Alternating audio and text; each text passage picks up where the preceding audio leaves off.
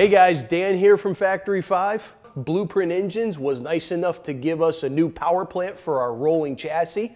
It makes about 390 horsepower on the dyno.